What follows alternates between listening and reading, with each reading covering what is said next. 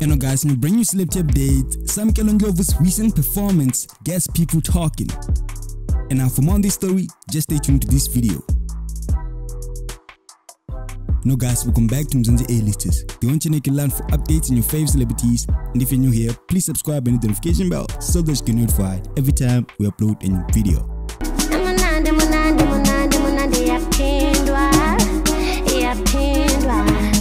And now guys, it looks like Sam Ndlovu is a Spotlight Girl of the Year. And if you don't know about the first time she got into the spotlight, it was when she had a public fight with Mosley, of which if you haven't watched that video, I will leave the link in the description below just so you go watch it. Sam Ndlovu is back in the spotlight after a recent performance which she did post on her social media pages. And now she got really controversial reviews from her fans after those clips hit the social media pages, with some other people actually saying that Sam Ndlovu actually has no talent musically and she uses the way that she dresses as you can see to draw attention from people while some other people are actually saying that they don't see anything wrong with the way she was dressed. And that his song is actually not that bad. And guys my personal commentary to that is going to be that i'm not sure about the performance. I'm really not sure but i'm going to say that her song is a straight up banger. Into yami which she had released is popping. But the way she was dressed and the performance actually got me not sure. But anyway do you guys tell me what you think about it. What do you think about the recent performance and the track that she dropped titled into